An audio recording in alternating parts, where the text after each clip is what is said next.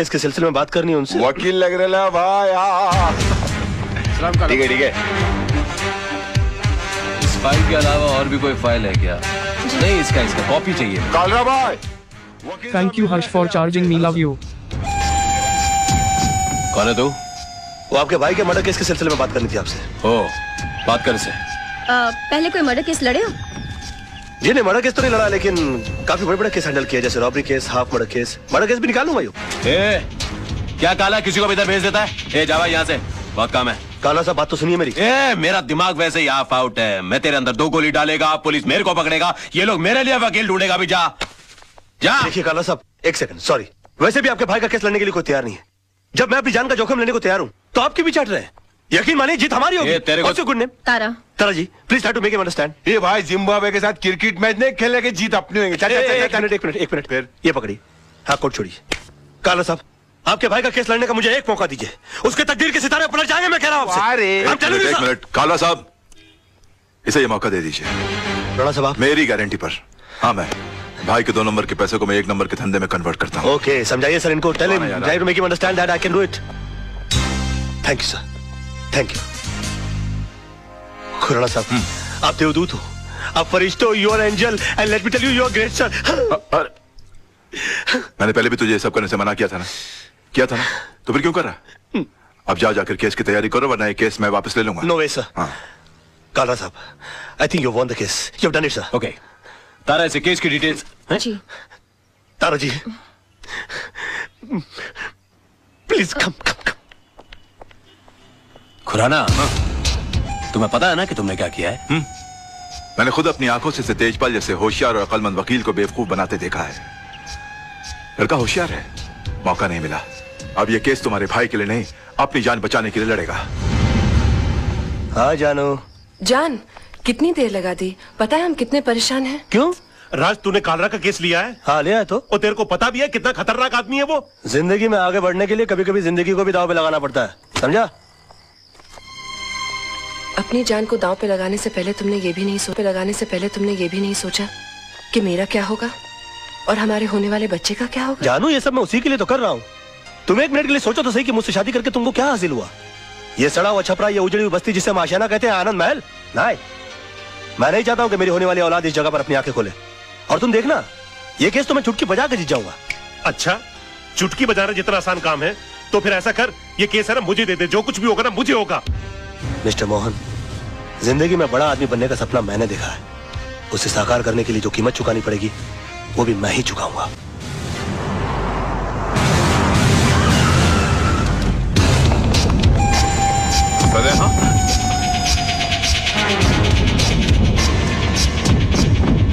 Your honour 26 तारीख की शाम को पाँच, साढ़े पाँच का वक्त रहा होगा कि मैं दिन भर की जनसेवा से थका मांदा लल्लू भाई पार्क की बेंच पर आराम कर रहा था। कि अचानक मुझे, बचाओ बचाओ के चीखने की आवाज़ें आई। मैंने मुड़कर देखा तो लल्लू भाई पार्क के पीछे वाली सड़क पर एक आदमी बेतहाशा भागा जा रहा था। और उसके पीछे ये साहब, बिल्कुल यही साहब, हाथ में टीन का डिब्बा लिए हुए उसी तेज़ी से उसका पीछा कर रहे थे। सामने भागने वाले आदमी को ठोकर लगी और वो गिर गया। इन्होंने उसे दबोच कर उस पर उस डब्बे से मिट्टी का तेल छिड़क कर जला दिया साहब। बुरी तरह जला दिया। डिफेंस को कुछ कहना है? यस मिलोड मैं मिस्टर पांगे को क्रॉस एग्जामिन करने की इजाज़त चाहूँगा। Permission granted. Thank you sir oh sorry hmm हाँ तो मिस्टर पांगे। आपने लल्लू भाई पार्क से इन्हें त्रिलोकनाथ ज्वेलर्स को ज़िंदा जलाते हुए देखा। जी हाँ। मैंने अपनी आँखों से देखा है। जब ये हादसा हुआ वहाँ पर काफ़ी लोग होंगे। बहुत सारे लोग थे साहब काफ़ी लोग थे। तो उनमें से कोई गवाही देने के लिए क्यों नहीं आया? क्या बताऊँ साहब सब डरते हैं इनसे डरते हैं। अच्छा आपको डर नहीं लगता? नहीं साहब मैं नहीं डरता। तो आप जैसे बता रहे हैं कि आप निर्भय और निर्डर आदमी हैं ऐसे आदमी के सामने किसी को ज़िंदा जला दिया गया आपने उसको बचाने की कोशिश क्यों नहीं की? कोशिश की थी वकील साहब लेकिन जहाँ मैं खड़ा था वहाँ से पार्क का गेट कुछ फासले पे था। पहुँचते पहुँचते वक्त लग गया। तब तक वो चल चुका था। तो आपको गेट तक जाने की कोशिश करने की क्या ज़रूरत थी?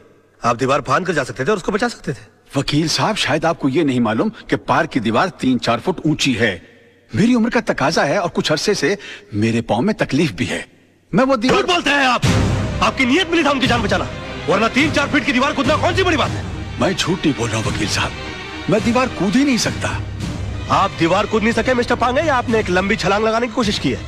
काला के कंधों के ऊपर पैर रखकर आपने अपना पॉलिटिकल उल्लू सीधा करने की कोशिश की objection milord let me complete sir इसलिए आपने इस केस के थ्रू मैक्सिमम माइलेज हासिल करने की कोशिश की। ये क्या अखबारों के अंदर फ्रंट पेज पर आपके इंटरव्यूज़ आते हैं? क्या आप मिस्टर काला को खत्म कर देंगे? प्रेस और मीडिया में चिक चिक कर आपने इनके खिलाफ एक अजीब सा माहौल रचा दिया है। अदालत के फैसले से पहले आपने इस आदमी को जनता की नज़रों में मुजरिम करार कर दिया और खुद गवाह होने के बावजूद जज बनकर इनके खिलाफ फैसला सुना दिया। और अदालत को इस तरह से मिसगाइड करने से पहले आपने सोचा कैसे नहीं कि आपका एक मामूली सा झूठ एक जवान आदमी की जान ले सकता है? ऑर्डर ऑर्डर योर ऑनर कितने शर्म की बात है। कितने दुख की बात है कि एक आदमी को दिन दहाड़े बीच सड़क पर ज़िंदा जला दिया जाता है।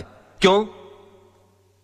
क्योंकि उसने गुंडों के सामने झुकने से मना कर दिया, इनकार कर दिया, अपने खून पसीने की कमाई से हिस्सा देने के लिए मना कर दिया, और इतना सीरियस क्राइम करने के बाद भी यह आदमी यह शख्स कानून से रहम की भीख माँगता है। नो योर ऑनर ऐसे आदमी पर रहम करने का मतलब है फिर किसी मासूम की ज़िंदगी को खतरे में डालना। आई थिंक ऐसे क्रिमिनल्स के लिए कानून में सिर्फ़ एक ही सजा है फांसी। मिस्टर मल्होत्रा अब भी आपको कुछ कहना है? No your lordship I think मुझे दस मिनट का ब्रेक चाहिए सर प्लीज़ कि सनाड़ी को केस सौंप दिया खुराना। अगर मेरे भाई को कुछ हो गया ना तो तुझे और तेरे इस वकील को दोनों को गोली मार दूँगा। अरे कुछ नहीं होगा आपके भाई को। अभी केस का फैसला हुआ नहीं है। लड़का इतना जल्दी हार मानने वाला नहीं है।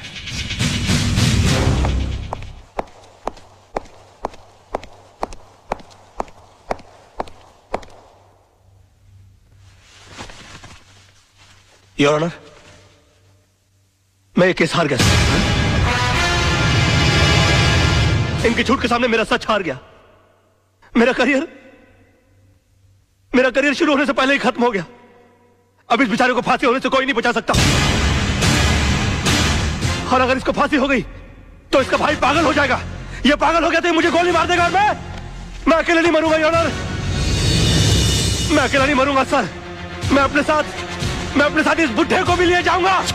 मार डालूँगा मैं इसको जान से मार डालूँगा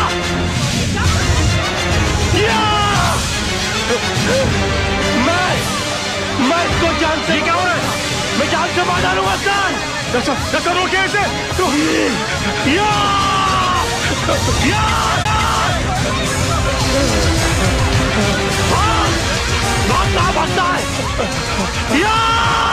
डॉक्टर बचाइए मुझे ये Stop him! ये ये मुझे देगा ये क्या मैं जान से मार हो गया क्या बचाइए मुझे him! मैं इसको जान से मार डालूँगा मिस्टर राज ये क्या तमाशा है I am sorry sir I am sorry honour मगर मिस्टर पांगे के झूठ को साबित करने के लिए मेरे पास दूसरा कोई रास्ता नहीं था कलयुग हो या सत्युग, सच्चाई को हमेशा अग्नि परीक्षा से गुजरना ही पड़ता है जो आदमी दूसरे की जान बचाने के लिए तीन फीट की दीवार कूद करने गया वो अपनी जान बचाने के लिए छह फीट का कटघरा भागता है। या! डॉक्टर बचाइए मुझे ये बचाइए Stop ये ये ये मुझे मार देगा ये! क्या हो गया? जान से मार डालूँगा। हो गया क्या डॉक्टर मुझे। Stop मैं इसको जान से मार डालूँगा सर पकड़े गई क्या? मिस्टर राज मल्होत्रा ये क्या तमाशा है? I am sorry sir I am sorry honour मगर मिस्टर पांगे के झूठ को साबित करने के लिए मेरे पास दूसरा कोई रास्ता नहीं था। कलयुग हो या सतयुग, सच्चाई को हमेशा अग्नि परीक्षा से गुजरना ही पड़ता है। जो आदमी दूसरे की जान बचाने के लिए तीन फीट की दीवार कूद करने गया, वो अपनी जान बचाने के लिए छह फीट का कटघरा और आठ फीट की दीवार कूद कर उस पर चला गया। इससे साबित होता है योर ऑनर कि मिस्टर पांगे कितने बड़े झूठ इन्होंने दो झूठ और कहे इस अदालत के अंदर। पहला झूठ कि वहाँ पर बहुत सारे गवाह मौजूद थे। अगर वो थे तो वो कहा है? गलत। वहाँ पर सिर्फ़ तीन लोग मौजूद थे। मिस्टर पांगे जलने वाले मिस्टर त्रिलोकनाथ जी और मेरे क्लाइंट मिस्टर विनोद। और दूसरा झूठ इन्होंने ये कहा कि ये आग बुझाने के लिए गए थे और मेरे क्लाइंट मिस्टर विनोद, इन्होंने आग लगाई, जबकि हकीकत यह है कि आग इन्होंने लगाई और मेरे क्लाइंट मिस्टर विनोद ने आग बुझाने की कोशिश की, जिसका सबूत है मेरे दोस्त मोहन प्यारे, जिनके हाथ जल गए, मेरे हाथ की आग बुझाते बुझाते। ऑनर ठीक उसी तरह, जिस तरह मिस्टर विनोद के हाथ जल गया त्रिलोकनाथ जी की आग बुझाते बुझाते। हाँ हाँ क्योंकि हाथ उन्हीं के जलते हैं, जो आग बुझाने की कोशिश करते हैं। आग जलाने वालों के हाथ कभी नहीं जलते, सर। और वहाँ पर तीनों में से सिर्फ़ एक आदमी का हाथ नहीं चला and that is only mister Pange and that's all your honour अरे कौन कहता है मुँह काला है झूठ का? अरे कौन कहता है मुँह काला है झूठ का? वाकई में तू मास्टर आदमी है यार। है झूठ का? कौन कहता है मुँह काला है झूठ इमोशनल फूल है यार तू भी। खुद का जला लिया कुछ। नहीं यार बोल पाला है झूठ का। चल पीछे चल। Excuse me excuse me mister Raj excuse me sir एक सेकंड इनसे मिस्टर राज से एक सवाल पूछना है। आज की जीत में आपने सच के लिए दिल लगाया था या फिर झूठ को जिताने के लिए दिमाग का इस्तेमाल किया? हुँ? अरे ए। ए, Uh, एक मिनट एक minute. No comments please thank you हाँ वो तो होगा ही। क्योंकि सब जानते कि खून किसने किया और आग किसने लगाया कमाल है राज। चंद रूपों के लिए आपने इंसाफ की नीलामी कर दी। एक बेगुनाह को सजा दिलवा दी। और इस दरिंदे को आपने छुड़वा लिया। ये? मेरे भाई को दरिंदा कहता है तू? ये भाई खटा तुझे सच खोजने की बहुत इच्छा है ना? तेरे घर वाले तेरी लाश को नहीं पहचाने अरे क्या कर रहे हो? कलर भाई अब कर डालो। तू चुप कर। अरे इनको समझाओ यार प्रेस वाले बैंड बजा देंगे इनकी। चल यहाँ से। साला क्या कॉल रहा प्रेस वाले बैंड बजा देंगे इनकी। चल यहाँ से। साला क्या कॉल आज तो इसने तेरे भाई को बचा लिया लेकिन लेकिन याद रख ऊपर वाले के याद देर है अंधेर नहीं। इसी कोर्ट में तेरा इंसाफ होगा और इसी कैमरे के साथ मैं तेरी करतूतों का पर्दाफाश करूँगा। ए, बहुत बोल रहा है तू फोड़ डालूँगा साले। Okay okay okay. बैठो यार गाड़ी में बैठो।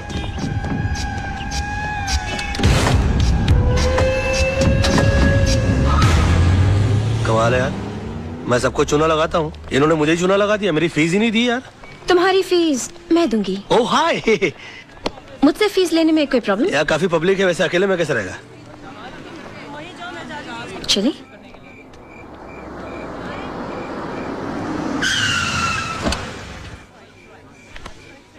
तो तुम यहाँ रहते हो? हाँ आज तक का पता तो यही है लेकिन अगर तुम चाहो तो कल ये कप परेड पाल हिल या जूस किम भी हो सकता है। आज से तुम हमारी कंपनी में आ गए हो। तुम जिस चीज़ पर उंगली रखोगे वो तुम्हारी हो जाएगी। अरे श्योर हाँ चिंटू बाल्टी करना? हाँ फ़र्स्ट क्लास लग रहा ओके लीजिए। आप आईने में क्यों नहीं देख लेते? इसलिए कि तुम्हारी आँखें मेरा आईना है मेरी जानू। अच्छा सुनिए हाँ। आज जरा काम से जल्दी आ जाइएगा। हम्म, क्यों? क्यों? क्यों जल्दी आइएगा? क्यों? क्या है आज? क्या है? क्या है? क्या है? आप बताइए। मुझे नहीं पता। हाँ हाँ। ओ ओ! करवा चौथ रखने के बावजूद तुम इतनी खूबसूरत कैसी लग रही हो। हाँ, तुम्हारा चेहरा नहीं उतरता व्रत करके? हम्म, आज करवा चौथ नहीं है डैडी। आज पेरेंट्स डे स्कूल में। अरे आई नो बाबा आई नो बट तेरी मम्मी इतनी प्रिटी है ना कि मुझे विश्वास ही नहीं होता कि अभी ये पेरेंट भी बन गई है। बस बस बस। आज याद से छह बजे चिंटू के स्कूल पहुँच जाइएगा। छह बजे? साढ़े पाँच बजे। बेटा दो चॉकलेट की शर्त तेरे पापा आज नहीं आएँगे। मैं आऊँगा don't fool with me I don't like it आजा नहीं आएँगे। आएगा मैं। या I want all the papers to be ready by evening my my my my तुम के लंच आवर में ब्यूटी पार्लर जाके आई? नो सर तुम इतनी ब्यूटीफुल कैसे लग रही हो? कमाल है मैं तुमको सुबह देखता हूँ तो तुम श्रीदेवी लगती हो दोपहर को देखता हूँ तो माधुरी दीक्षित लगती हो। ये तो तुम बुरखा नहीं पहनती वरना मैं तुमको कहता कि निकलो ना बेनकाब जमाना खराब है ले ले ले ले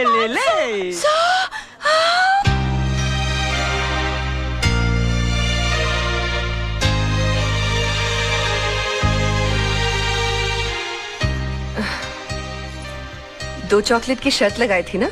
नहीं आए ना तेरे डैडी? आ जाएँगे मम्मी। डैडी को लास्ट बॉल पर छक्का मारने की आदत है। मेरे आइटम शुरू होने से पहले आ जाएँगे। आ जाएँगे। आई होप सो यूनुस ये फ़ाइल क्लियर कर देना। अम्मा कमाल है यार। तुम भी एक अजूबा आइटम हो यार। 24 घंटे फ्रेश लगते रहते हो सिल्वेस्टर स्टैलोन की तरह। मुझको तो समझ में नहीं आता कि तुम अपने आप को मेंटेन कैसे रखते हो। How do you do it नींबू सी ताजगी जास्मीन से खुशबू तुम इंसान हो या beauty soap What a try, what a good shot, you're a good looking guy, man.